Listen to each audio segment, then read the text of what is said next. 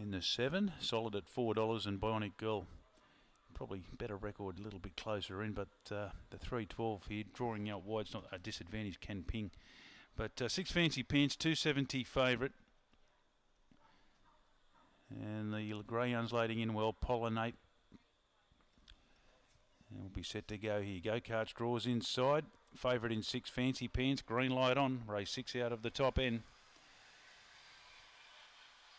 Lure in motion. Set away.